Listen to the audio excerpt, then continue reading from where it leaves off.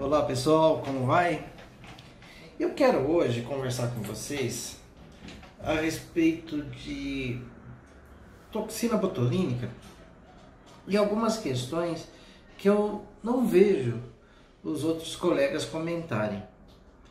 É um tópico que eu quero falar a respeito. Primeiro, é a respeito de marcas versus diluição e tempo de estabilidade.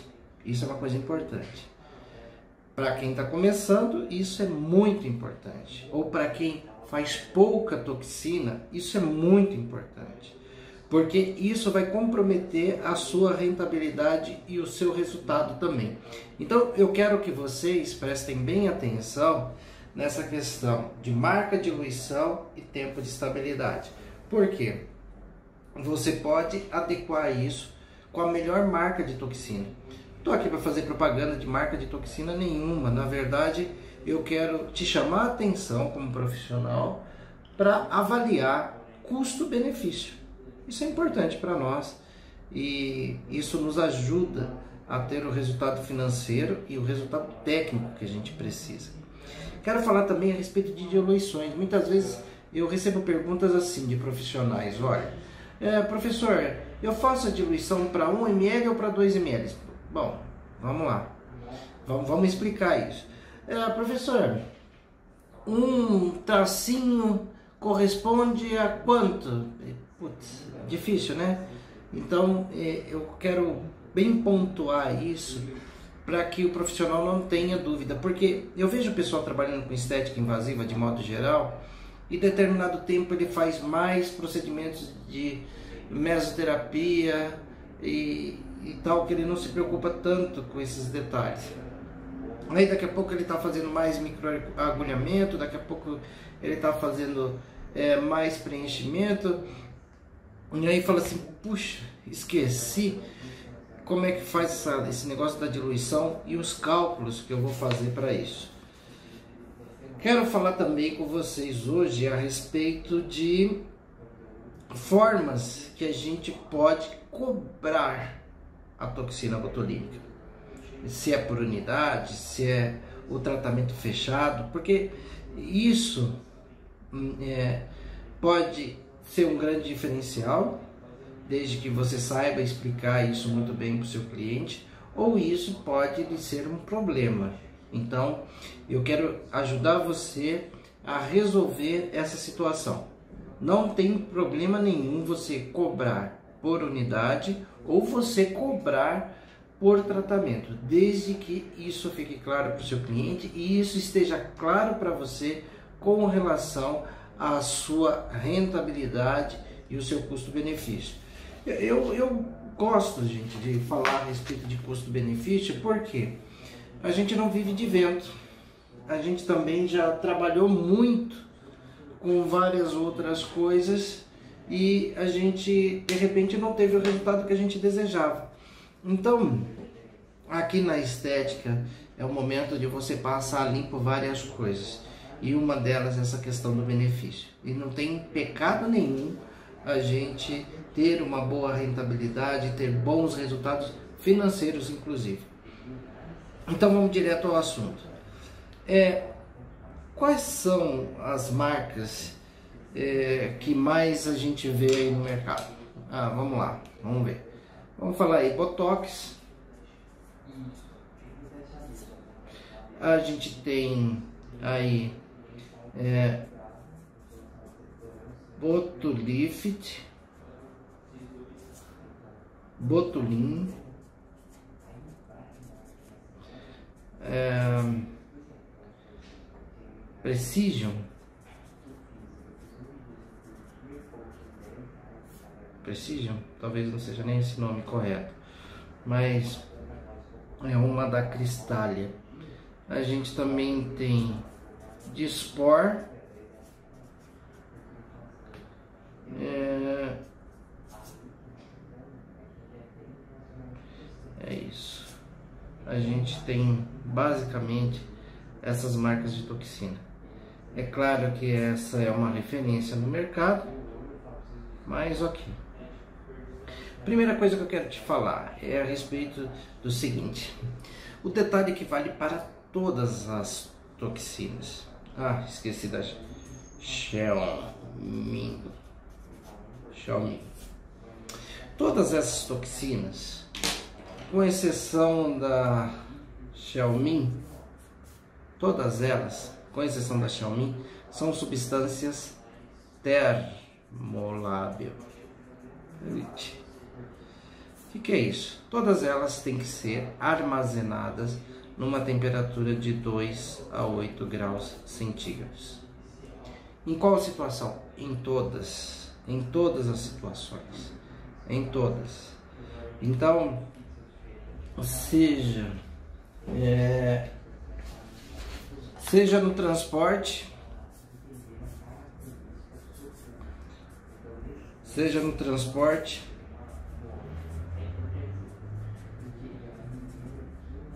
tá? Seja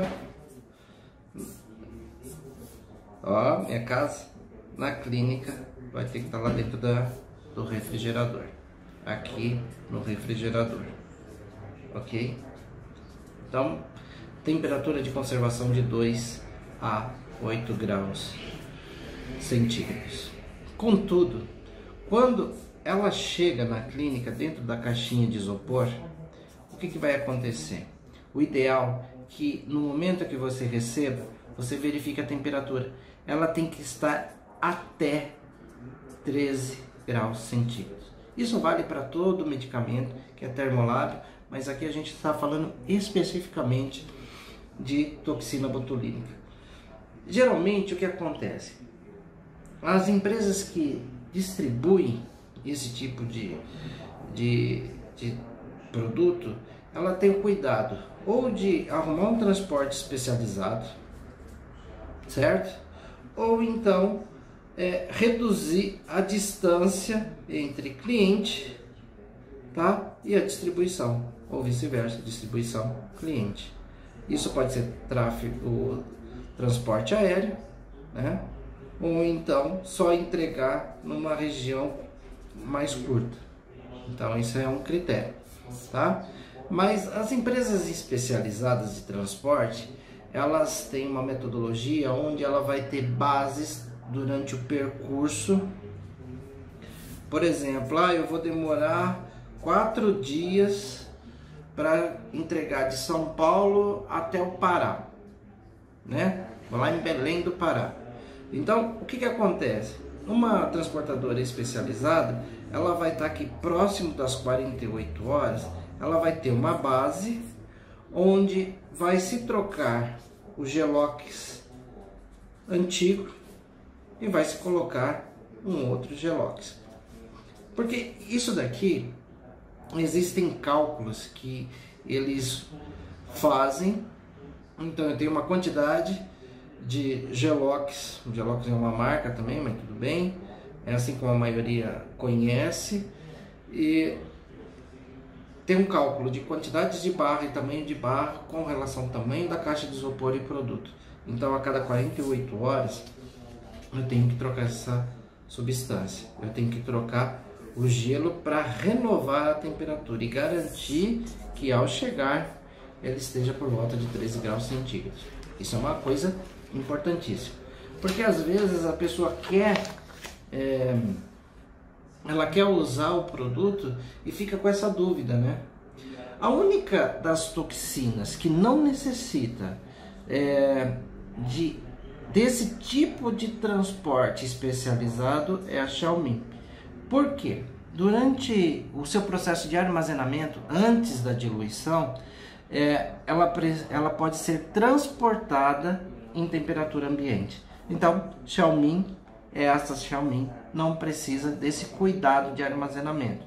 Lembrando que todo o produto, seja ele correlato, medicamento, cosmético, ele deve ser armazenado numa temperatura que é considerada ambiente de 30 até 30 graus centígrados, de 15 a 30, o ideal mais ou menos 23 graus centígrados.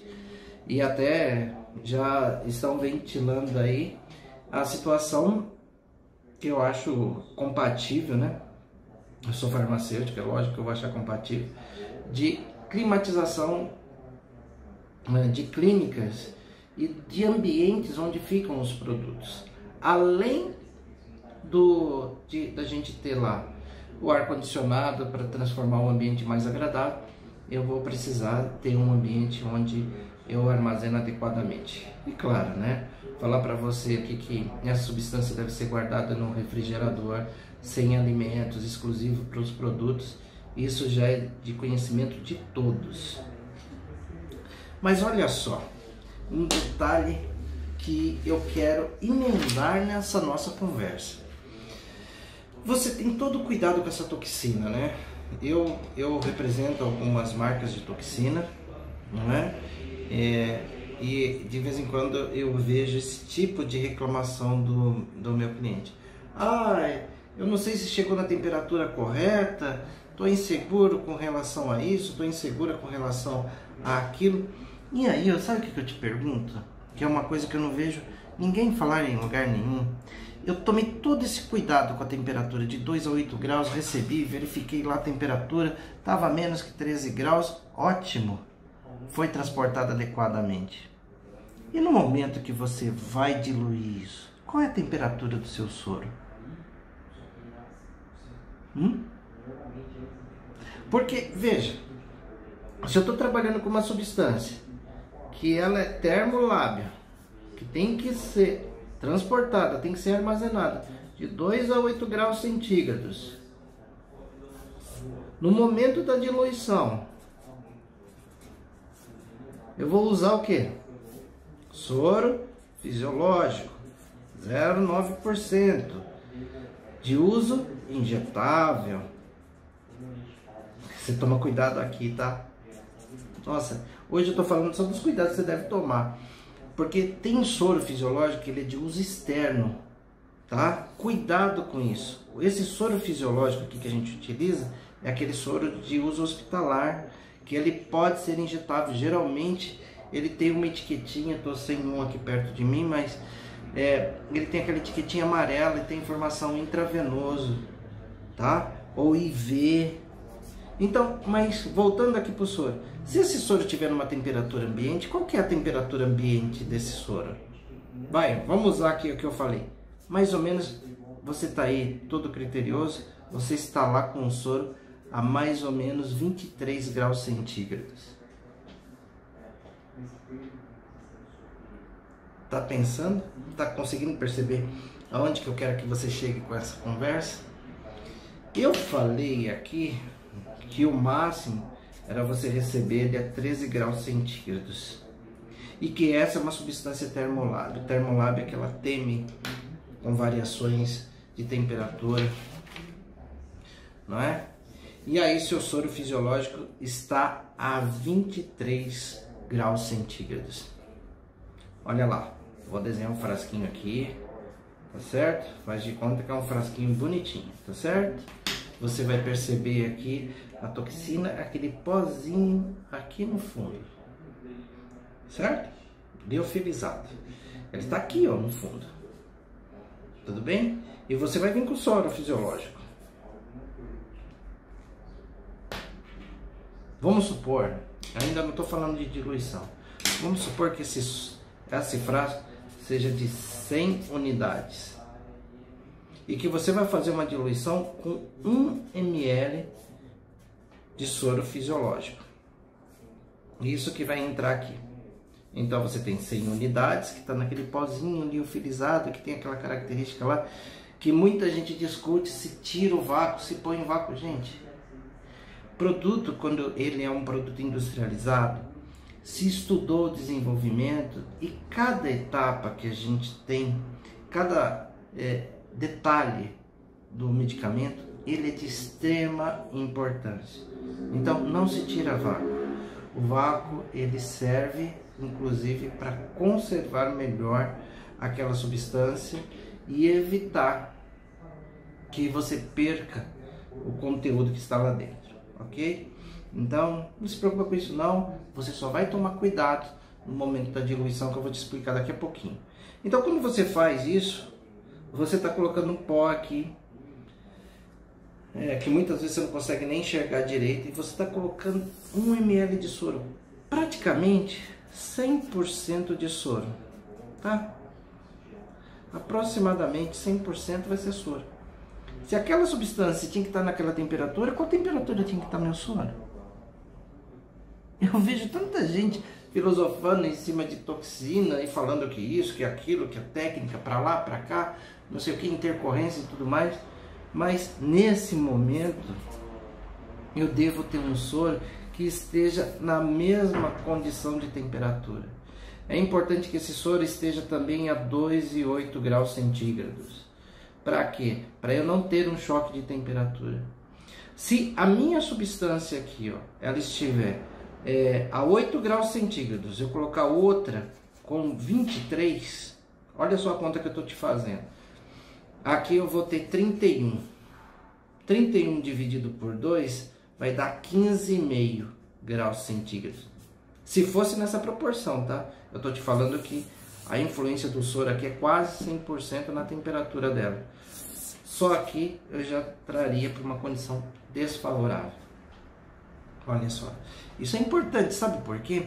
Muitas vezes a pessoa sabe a técnica correta, sabe onde aplicar, sabe evitar intercorrência, sabe os pontos exatos, a quantidade de unidades que você vai colocar em cada porção do músculo, mas ela está colocando uma substância que está ativa 40, 50% daquilo que ela teria condição de fazer. Olha só. Olha como isso é, é importante e muitas vezes a pessoa fala assim: não, mas a toxina não é de boa qualidade. Às vezes não é a toxina, às vezes é a forma que eu estou trabalhando, diluindo aquela toxina. Certo? Então preste atenção nisso. É, raramente as pessoas param para discutir sobre isso. E eu quero te falar, porque é, antes de eu estar na estética, meu negócio era controle de qualidade e produção de medicamentos. Então, esse é um cuidado que a gente deve ter, porque a estabilidade do nosso produto ela é tão importante quanto é, quanto a qualidade do medicamento em si, as matérias-primas, a marca e tudo mais. Então isso é importante você saber. Então, fechando a questão de marca e diluição, por exemplo, toxina botulínica da marca Botox, ela dura em média, é, o rótulo diz, três dias, não é? é você pegou Botolift até sete dias Botulin também até 7 dias depois de diluído. É, Precision e, e Xiaomi 24 horas. Dispor 3 horas. Então, o que eu estou te falando é o seguinte: se você abre hoje uma toxina e você acaba com ela, ok. É, você pode escolher qualquer uma das marcas. Agora, se você tem um atendimento hoje e outro depois de amanhã, olha, já fica difícil de você usar uma Xiaomi ou uma Dispor. Ainda dá para usar Botox, que são três dias. Agora, se você passar de três dias, aí você não consegue mais usar Botox. Acaba sobrando para você Botulift e Botulin, que duram até sete dias depois de diluída e conservada na geladeira. Então o que, que eu te falo? Você tem que selecionar a marca de toxina de acordo com a sua dinâmica. Então se você não tem, se você faz um dia do Botox, ok, a chance que você tem de consumir toda aquela toxina no mesmo dia, bacana. É, aí fica o seu critério utilizar. Agora, se não é assim, se você tem atendimentos que nem sempre acontecem no mesmo dia, você não tem essa agenda tão rigorosa, e você quer dar um pouco mais de flexibilidade para sua agenda, você tem que tomar cuidado na seleção. Porque é assim, é, praticamente não se tem muita diferença de qualidade de toxinas. Uma marca talvez eu te recomendaria a não utilizar, mas não é o objetivo desse nosso trabalho aqui nesse momento. Então, mas na grande maioria você usa uma toxina de, de qualidade, não é? São substâncias de boa procedência que você consegue trabalhar muito bem com elas. Uma outra pergunta que as pessoas geralmente me fazem é assim: professor, eu faço uma diluição de um frasco de toxina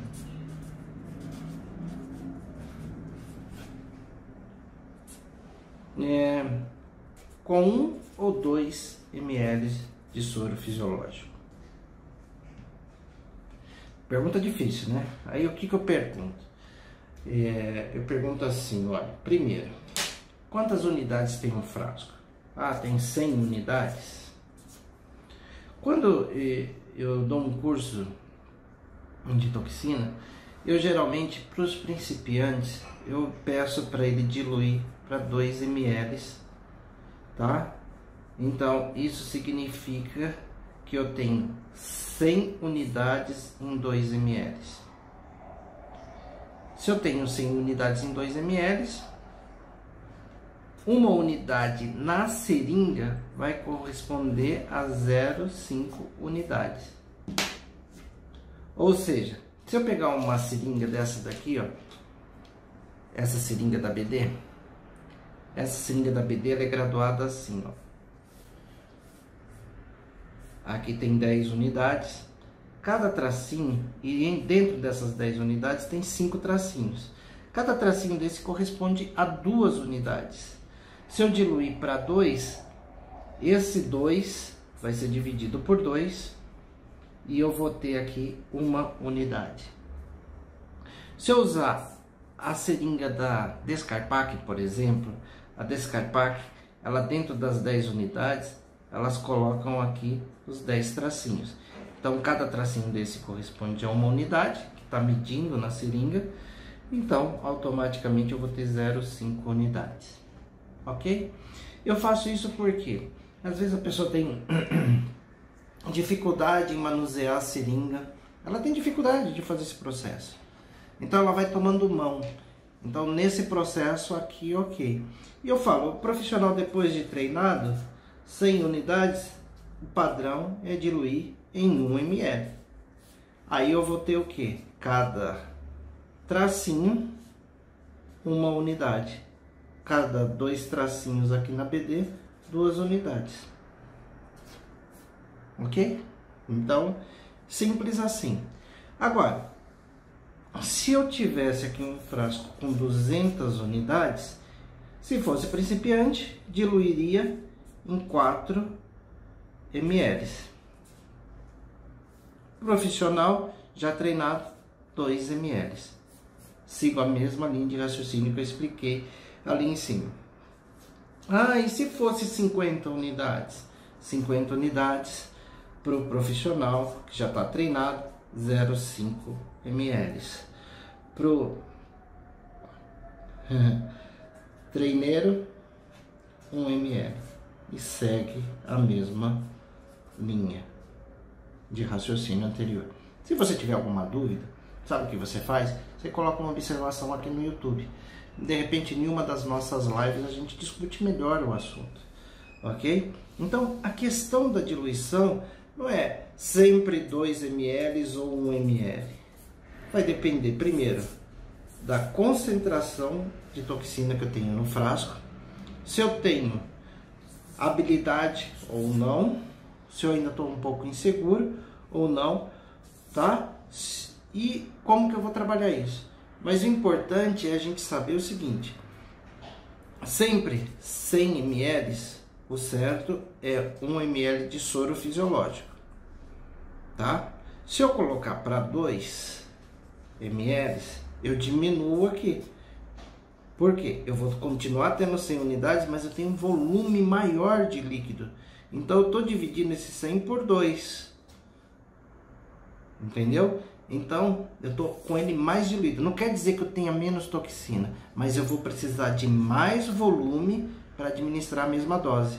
Aqui eu teria uma unidade no tracinho ou duas unidades. Aqui eu já vou ter 0,5 unidades ou uma unidade.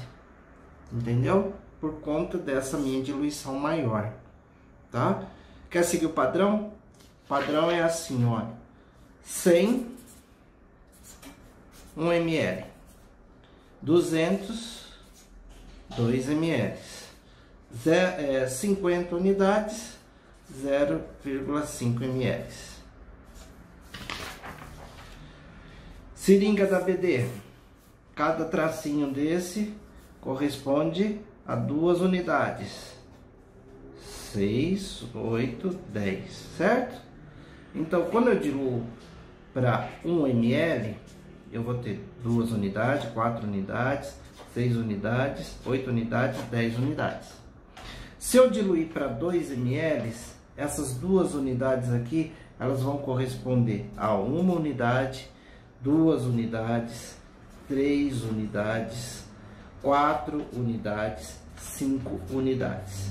Ou seja, eu vou precisar, por exemplo, para aplicar duas unidades, ao invés de aplicar um tracinho só, eu vou precisar de uma quantidade maior para corresponder à mesma unidade.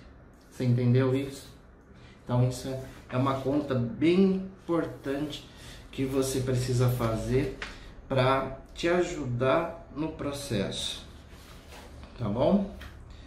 É, você vê que você saber onde aplicar e tal é, é de extrema importância, mas você administrar a concentração certa, no lugar certo, isso vai fazer toda a diferença para o seu tratamento. Porque às vezes você vai lá, aplica no local do músculo certo, você vai fazer um procedimento fantástico. Mas se você depositar uma quantidade inferior de toxina, não adiantou muito, ou não adiantou quase nada. Então, agora eu queria te falar a respeito de duas formas de você cobrar toxina. Porque é assim, olha, a gente estava falando ali de toxina de 100 unidades, 200 unidades, 50 unidades. É a forma que você encontra no mercado que você compra toxina. Então, como que a gente faz? Vou dar um, um, um valor hipotético aqui, só para você ter ideia. É claro que não é isso que acontece no mercado. É, eu vou até colocar um, uma situação aqui hipotética para a gente poder fazer conta. Então, digamos lá, é, que uma toxina para o consumidor final ela custe mil reais. Comprei o frasquinho lá de toxina e eu achei o preço de mil reais. Se eu tenho 100 unidades dentro desse frasco, teoricamente essa toxina custaria 10 reais por unidade, ou seja, uma unidade custaria 10 reais. E aí você fala para o cliente assim, olha, eu vou te cobrar por unidade. Aí você vai lá, faz as marcações, vê o quanto que você vai usar em concentração de toxina em cada região que você vai aplicar. Cuidado, tá, gente?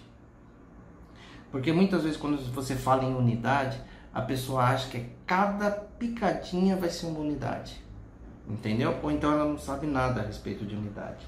Então você precisa, antes de falar que vai cobrar por unidade, você fazer a avaliação dela, falar assim, olha, ao todo eu vou usar 40 unidades, vou usar 50 unidades, e aí vai ser 50 vezes 10, que vai ser igual a 500 reais. E lembrando, no retorno, se eu usar mais 10 unidades, ela vai pagar mais 100. Geralmente isso causa desconforto. A pessoa entende que ela já pagou na primeira e o retorno é obrigação do profissional fornecer para ela. Então você tem que tomar esse cuidado, porque ela pode lhe trazer algum desconforto. Tá? Então isso tem que ser muito bem esclarecido. Geralmente, quando você, se co você cobra o procedimento por unidade, você tem um problema. Porque as pessoas não entendem e elas não são obrigadas a entender. É, outra coisa, outra forma de você cobrar, por tratamento. Você fala assim, você vai fazer uma toxina, pode ser uma toxina total. O que é uma toxina total? Toxina total é a pessoa vir fazer testa, glabela, região dos olhos, região do nariz, fazer tudo. Aí você fala assim, olha, eu vou te cobrar 700 reais. Estou dando valores hipotéticos, tá, gente? É só uma ilustração. Não estou falando que eu cobro isso, que esse é o valor que tem que ser cobrado no mercado, coisa do tipo. Estou dando valores hipotéticos. Mas só que aqui já está incluso o retorno. Tem uma tendência no mercado das pessoas quererem fazer sempre fazer toxina parcial. Que hoje, com o advento da internet, YouTube, informações no Instagram, é, vários profissionais, cada um com estratégias diferentes. A pessoa fala assim: Eu quero fazer uma toxina parcial. Então ele faz só a testa, só a glabela, só região dos olhos, entendeu? Tem pessoas que elas querem fazer só assim. E aí, quanto que isso vai te custar? Você vai ver lá a quantidade de unidades. Digamos que você fala assim, não, cada região dessa vai custar 20 unidades. Só que geralmente nesse tipo de trabalho não tem retorno. Porque essa pessoa aqui que pagaria 700, você não vai pegar 700 e dividir por 3. Porque no momento que você aspira a toxina, fica a toxina no cano da agulha, fica a toxina no canhão, você perde ali sempre por volta de 5 unidades. E também é, você perde ao manusear é, é, esse produto. Então você fala assim: ah, para fazer região dos olhos, por exemplo, eu gastaria 12 unidades. Vou colocar 12 unidades? Não. Se você fizer isso, você vai estar tomando prejuízo, a não ser que você cobre muito mais caro. Então, geralmente, aqui a gente cobra um pouco mais. Então, por exemplo, se fosse aqui aproximadamente 230 reais, vai cobrar 300 por região. E a pessoa, se quiser fazer retorno, ela vai ter que custear esse retorno. Veja a proporção e de novo falando em valores hipotéticos. E isso precisa estar bem claro para o cliente, tá? Ouço muitas reclamações de clientes quando o cliente chega e ele fala a respeito de da forma que foi cobrado, que foi negociado, que se sentiu lesado, coisas do tipo. Então, a gente precisa tomar muito cuidado no momento de explicar para o cliente o que a gente está fazendo, como está fazendo, como a toxina atua. Eu costumo explicar para meus clientes de uma forma bem simples. Eu falo assim, olha, toxina, ela não estica a pele de ninguém. Toxina, ela tem uma ação no músculo. Então imagine aqui, ó. Essa minha mão é o músculo e a pele está aqui em cima.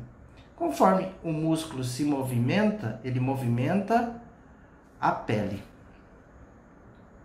Então o que, que eu faço? Quando eu venho com a toxina aqui, eu aplico no músculo, o músculo para e a pele fica parada. E aí, o que eu tenho?